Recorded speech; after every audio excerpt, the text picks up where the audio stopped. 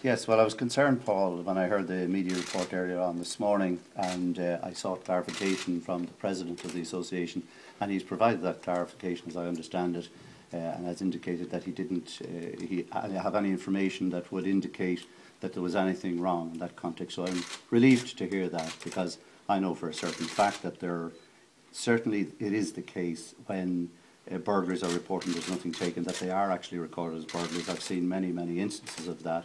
I've also seen many, many instances where, for instance, something happens, a serious matter, perhaps a shooting at a house, uh, maybe someone injured, maybe not.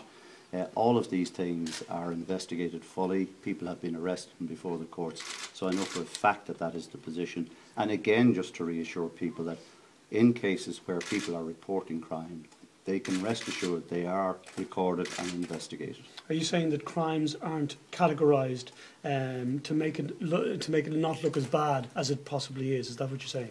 I'm saying that all crimes reported, Paul, are recorded.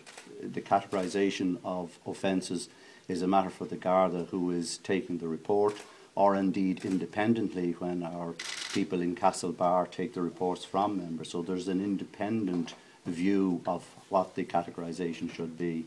But I am satisfied that all crimes reported are recorded and indeed investigated. But what about the claims here at the conference that guidelines uh, were handed down from Garda headquarters uh, that particular crimes should be put in particular categories and that they shouldn't be recorded? For example, in relation to uh, what was said was if a victim doesn't make a statement, then uh, the crime should not be recorded. Well, that's simply not true. I mean, I've already indicated that if a crime is reported, we are obliged, and I would expect people to act on that report and try to investigate it to his or her uh, best of ability. And, and that is the position that will always remain the position. Well, what about the claims in relation to, for example, checkpoints where it's an, there, there could be an announcement that's an increased Garda presence, more checkpoints. Uh, what the GRA are saying is, yes, there may be more checkpoints, but they're only here for half the time. Uh, they're saying that cautions are now being registered on the Pulse system. Only this week a direction was given for that, they say, uh, so that the figures look good.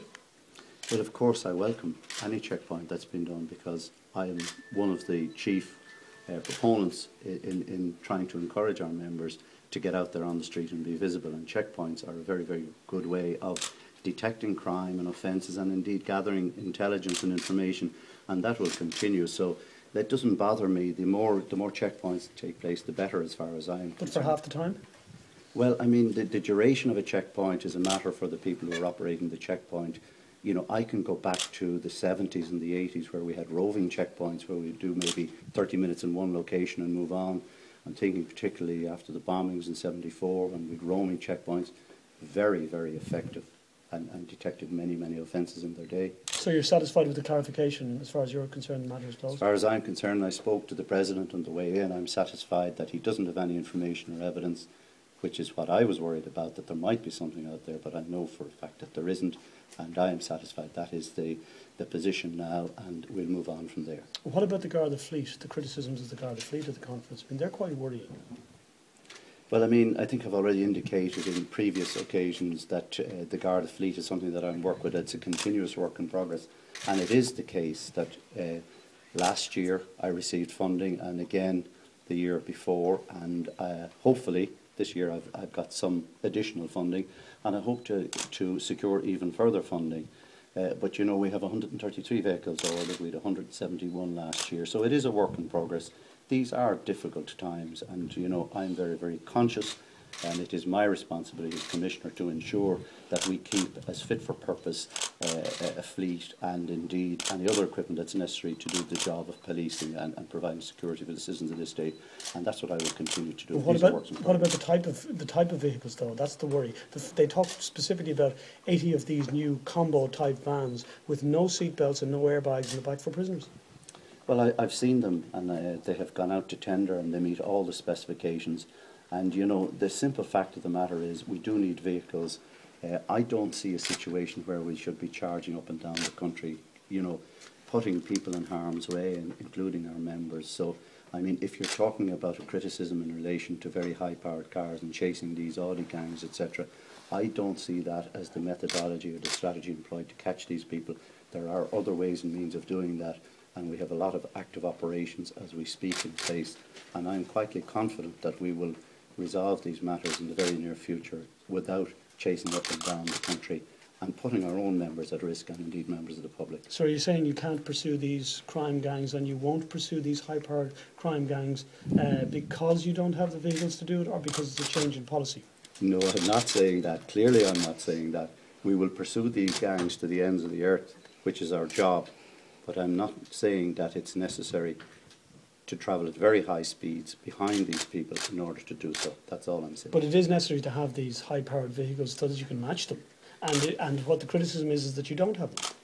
Well, we do have a number of very high-powered vehicles at our disposal, you know, uh, and that is a simple fact. Commissioner, how would you describe the relationship between rank and file Gardaí and Garda management? I suppose given the, the comments made this morning about the massaging of crime figures and in general, a lot of them in there quite angry about paying conditions. Uh, of course, and I've said it many, many times before, people are angry, people are hurt, people are sick to their teeth uh, as, what has, as to what has happened, particularly in their own financial circumstances. And of course, I as Commissioner am very, very conscious of that. As you know, I've met all of the associations uh, in the last number of weeks and I've listened to some horrific stories and uh, I've listened very, very carefully to what they had to say to me and I've passed on that information to the people that, that need to know about these things. So it's, it's not that we don't care, it's not that there's a disconnect. We, we are working very, very hard to provide a system of policing in this country to, to ensure the safety of its citizens, and we will work together. You know, people say things, and that's fine, but the bottom line is we are a united police force, and all of my members are working very, very hard towards securing the citizens of this country's security. If you look at what has happened just yesterday, you will see that there was considerable seizure of arms. This morning, you will see a considerable amount of cannabis grow houses. And indeed, if you look across, and it's well documented in the media, the amount of grow houses that have been seized, that's all because my members are out there working very, very hard and tirelessly on behalf of the community.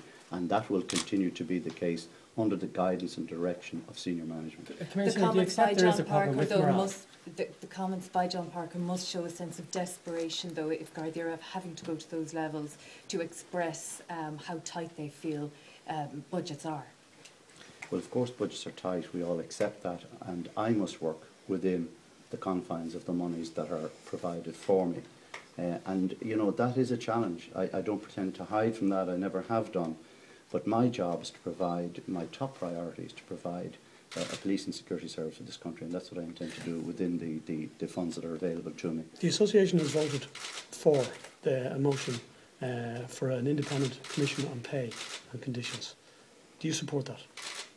Well, I think there's a very real opportunity uh, now, Paul, to have a, a very close look uh, at, at Garda pay, certainly.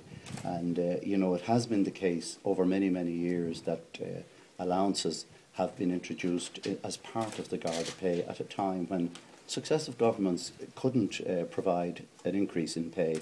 And I think that's, that's a given and that's, that's accepted and understood by everybody. So there is a very real opportunity, I think, here for uh, somebody to look at, at what is happening in the pay area of Garda Síochána. We've had in the past, as you know, the, the Conroy Commission and we've had uh, Ryan reports, etc.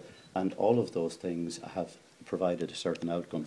I don't know what that outcome might be if the government were so minded to introduce it, but I would certainly be in favour. If, if, that, if the government were minded to do that, I would certainly be in favour of that happening. So will you take that to the minister? Well, I'm sure the Minister will make his, his, his own mind up in relation to this. You see, we, we have to be careful here. My role and responsibility is to ensure that I keep the Garda Síochána as effective and efficient as it can be within the resources that are at my disposal. But the Minister is aware, Paul. The Minister is very much aware. And I have told my colleagues, and I will tell them again when I go in uh, to conference, that all of the issues they have brought to my table uh, are, are provided uh, by me to the people that need to hear these things. And people are listening.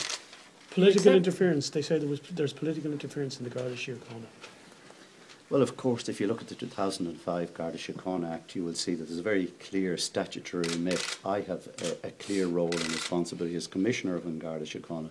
The Minister has a very clear role and responsibility in the context of what his remit is. Uh, and I have to say, since my appointment, the Minister has never crossed that Rubicon and tried to interfere with what I do.